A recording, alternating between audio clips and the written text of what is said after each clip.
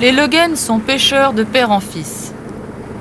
Aussi loin que l'on remonte, leur bateau est ancré à Erquy, petit port de pêche de Bretagne du Nord, situé entre le Cap Fréhel et le Val André. Monsieur Le Guen père a maintenant pris sa retraite. Erquy, c'est la capitale de la coquille Saint-Jacques, c'est le port le plus important de la baie de Saint-Brieuc. C'est là qu'il est débarqué le, le plus gros tonnage de coquille Saint-Jacques.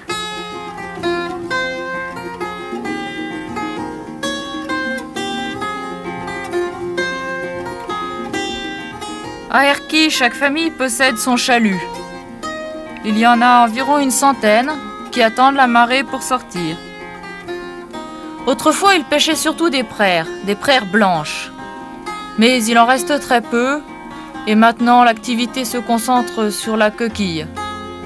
C'est ce qui fait la célébrité du port de nos jours.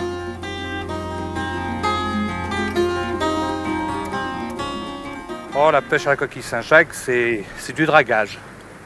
C'est du dragage, alors c'est un râteau qui aurait une largeur de 2 mètres, qui se pose sur le fond, qui est fixé sur ce que tout l'ensemble s'appelle une drague, et derrière il y a un sac. Ce râteau, il y a une lame de 20 dents. Ces dents pénètrent dans le fond marin, comme ça, et elles vont déraciner les coquilles Saint-Jacques, et comme c'est tracté, elles rentrent dans le filet, avec des cailloux, du sable, tout, enfin, et c'est viré alors à bord du bateau tous les quarts d'heure environ. Ça peut se pêcher très près et le plus loin qu'on y va actuellement, c'est environ une quarantaine de kilomètres. Puis j'ai connu le début de la coquille Saint-Jacques. Il y a eu des années qui étaient très fortes, d'autres qui étaient moins fortes. Alors cette année, nous sommes dans, dans une année où c'est plutôt assez faible. Mais malgré tout, je reste optimiste parce que s'il n'y en a pas cette année, il y en aura davantage l'année prochaine.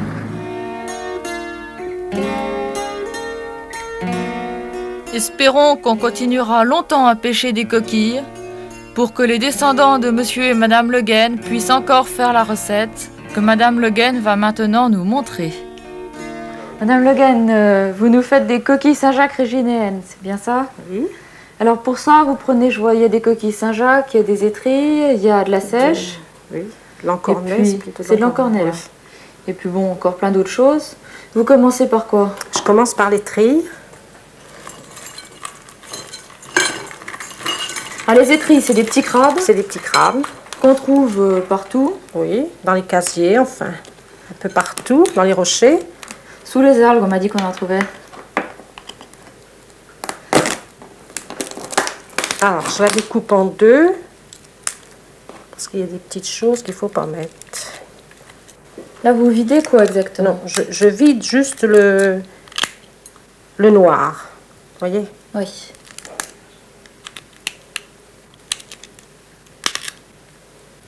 Quand c'est cuit, on peut manger la carapace. Oui, oui. C'est très bon, c'est très fin.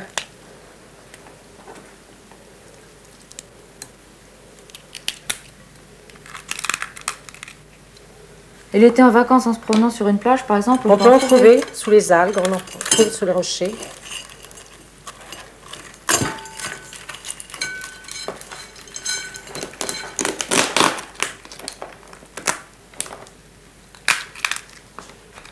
Et là, pour- c'est pour six personnes que vous, vous faites cette recette aujourd'hui. alors une. Alors Ah, vous avez j'en ai fait Deux, trois, quatre. Je vais encore en faire une. Vous mettez une étrille par personne Une près par personne. Une étrille par personne. Et le coquille Saint-Jacques, vous en mettez combien 3 kilos 3 kilos pour 6 pour six personnes. personnes. Quand les étrilles sont coupées en deux, vous allez les faire cuire. Je vais les faire euh, revenir dans de l'huile. Revenir dans l'huile. Un petit verre d'huile dans une cocotte. Je vais pas mettre tout comme ça. Votre cocotte est à feu doux, à feu moyen? Feu moyen. Feu moyen. Oui, c'est assez chaud. Il faut que j'attende que ça soit chaud. Oui.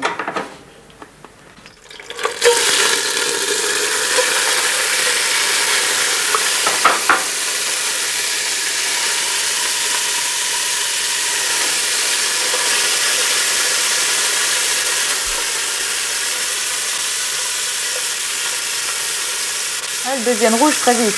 Tout de suite, elles deviennent rouges quand c'est aussitôt chaud. Elles sont prêtes là? C'est bien, c'est fait.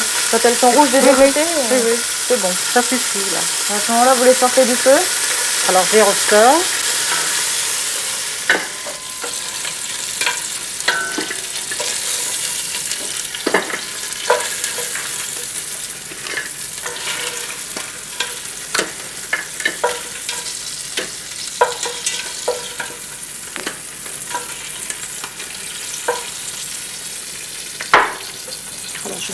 Rajouter un peu d'huile Ouais.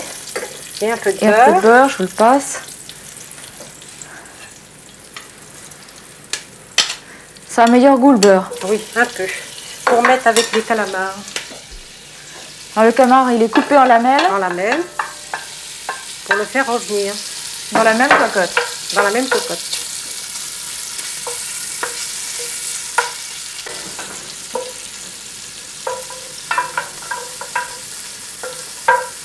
Alors vous le faites revenir combien de temps Une demi-heure. L'encornet, une demi-heure.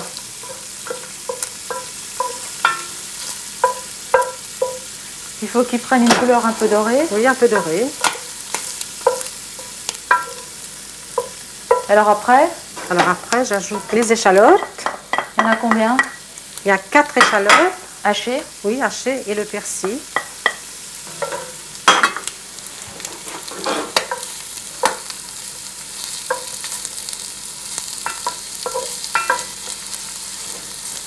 Et là pareil, vous continuez à faire revenir. Voilà. C'est une jolie couleur. faut que ça dore un peu. faut que l'échalote fond.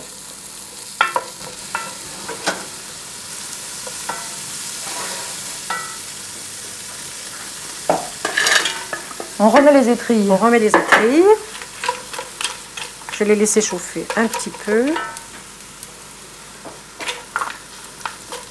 Et je vais flamber. Faut ça n'a pas eu beaucoup le temps de refroidir.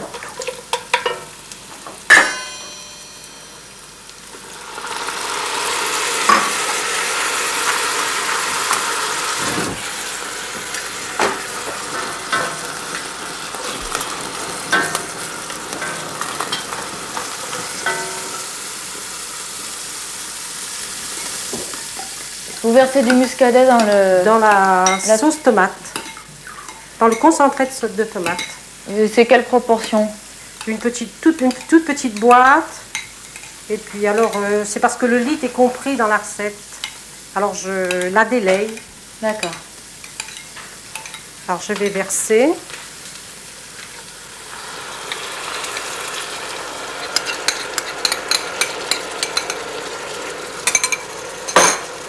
Vous tournez. Je tourne.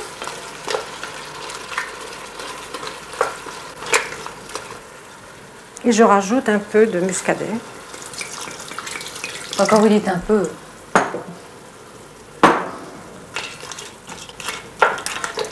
Au total, vous allez mettre toute la bouteille de muscadet? Euh, faut que ça couvre tous les morceaux. Alors je peux Assaisonner un peu. assaisonner. Ça, c'est au pif. Oh oui. Un peu de sel. Éventuellement, on peut goûter la sauce pour voir si elle est bien assaisonnée. On la goûtera quand ça sera bien, bien chaud. Il faut que ça boue un peu, Un petit peu. Il faut que ça en ébullition. ça frémisse. Oui, ça frémisse. Alors, cette Au recette, euh, vous l'appelez régénéenne.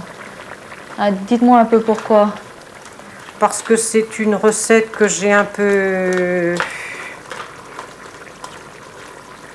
Bah, vous avez faite avec les produits d'Erquy. Oui, avec des étrilles d'erquis, du, du, de l'encornet d'erquis, puis des coquilles d'erquis. Et Erquy, c'est régénéa. C'est Réginéa. Et nous, nous appelons des Réginéens. Voilà, c'est une vieille légende. Voilà, c'est une vieille légende. Parce que Régénéa, c'était une vieille ville qui a été engloutie, Qui c'est est ça? engloutie. À quelle époque à peu près? Du temps des Romains, avant les Romains. Avant, on ne sait pas exactement. Non, c'est pas exactement. Et c'était une ville euh, où il y avait de gros bateaux qui venaient au port. Alors les marins arrivaient dans la ville et ils ne voulaient pas repartir parce que les femmes étaient très belles. Alors c'est devenu une orgie. Alors, le bon Dieu s'est fâché et il a englouti Réginéa. Mon mari est arrivé un jour avec des étrilles, des coquilles, et puis j'avais un peu de sèche. Alors j'ai fait ça à ma façon, Et j'ai trouvé ça très bon. Et depuis, tout le monde trouve ça Alors, très oui. bon. Ah, Vous goûtez pas la sauce? Si, je vais la goûter.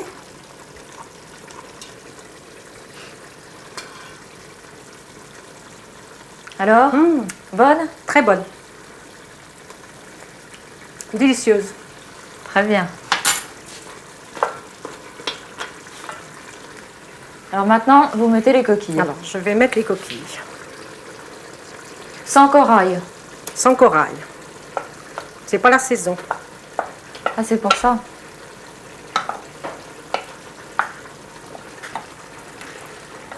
Mais éventuellement, on peut mettre le corail. Ah oui, oui, oui.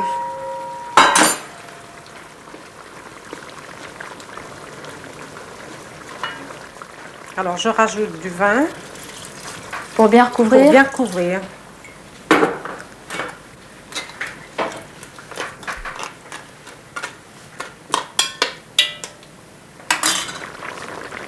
Puis on laisse chauffer encore. Alors, on laisse cuire au moins encore une demi-heure. Encore une demi-heure.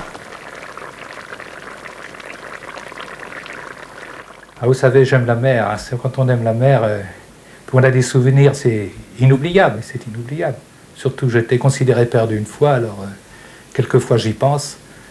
Puis un jour, je me suis pris, j'ai pris le porte-plume et j'ai essayé de me rappeler toute mon, toute mon aventure pour les miens. quoi. Le bateau n'est plus maître de sa manœuvre. Nous sommes sans défense. Et la mer en furie nous entoure. Malgré ces énormes vagues, on sent que cette mer est loyale dans ce combat. Elle nous laisse récupérer. À peine le bateau a-t-il repris sa position normale, c'est une nouvelle attaque. La lutte est terrible. Je crie à mon frère, attention à droite, puis attention à gauche, comme si nous étions le père et le fils à la bataille de Poitiers. Entre deux paquets de mer, mon frère me dit, si tu veux, nous abordons la côte à tel endroit. Peut-être allons-nous nous sauver mais le bateau sera perdu. Je ne pouvais répondre immédiatement. La question était trop grave. Après quelques instants de réflexion, je dis à mon frère, en qui j'avais entièrement confiance, car on le considérait comme le meilleur marin de la baie. Nous avons résisté jusque-là, et l'ouragan ne peut être plus fort. Continuons, nous avons des chances de nous en sortir. Ma réponse redonna du courage à mon frère, et l'Océanide continua la lutte. Bon, alors, euh, ça fait une demi-heure à peu près que ça cuit maintenant. Oui. Alors, on va ajouter deux petits piments Petit piment de Cayenne. et puis une cuillerée de crème fraîche Les piments, vous les mettez pourquoi pour avoir euh, une sauce assez euh, relevée. Sur la coquille Saint-Jacques, c'est assez doux. Non, voilà. Alors, la crème fraîche, vous la tournez un peu quand même? Ah oui.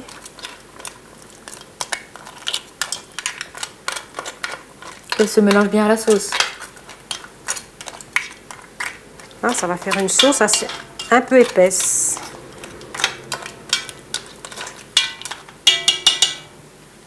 Et c'est prêt. Et c'est prêt. Très bien.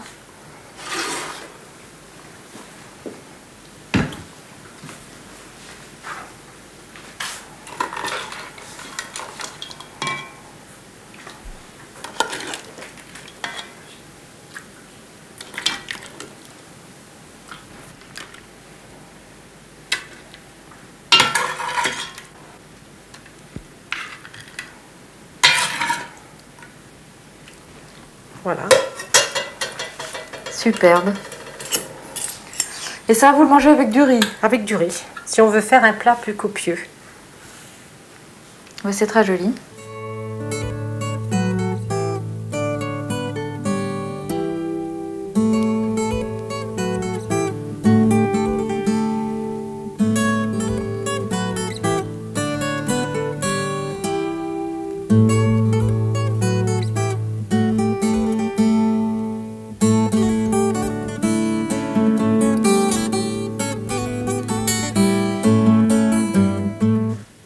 Frère me l'a dit par la suite qu'il croyait que j'avais perdu la raison.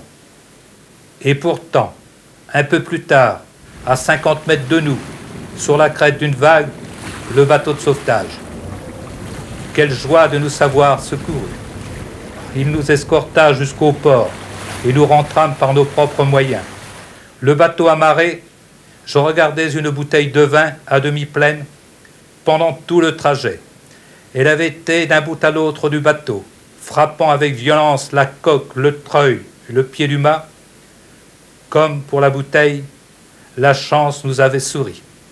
Je la débouchai, portais le goulot à mes lèvres, je croyais boire du porto. Je l'attendais à mon frère qui but une bonne gorgée, me regarda, souria, et d'un sourire qui voulait dire Nous revenons de loin. Huit jours plus tard naissait mon quatrième enfant, Michel.